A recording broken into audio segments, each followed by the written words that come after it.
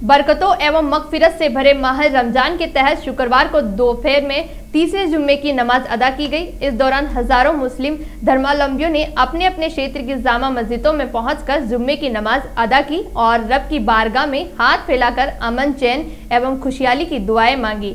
जुम्मे की नमाज़ के दौरान सैकड़ों की संख्या में मुस्लिम बंधु मस्जिदों में एकत्रित हुए, जिसके कारण शहर के लोहरान चौपट, छिपा मोहल्ला, कुरेशियान मोहल्ला तथा छावनी मस्जिद आदि क्षेत्रों में खासी भीड़भाड़ का माहौल देखा गया। गर्मी को देखते हुए नमाजियों के लिए मस्जिदों में विशेष व्यवस्थाएँ की गई। रमज़ान के महीने में हर नमाज़ खास है, मगर जुम्मे की नमाज़ का विशेष महत्व है।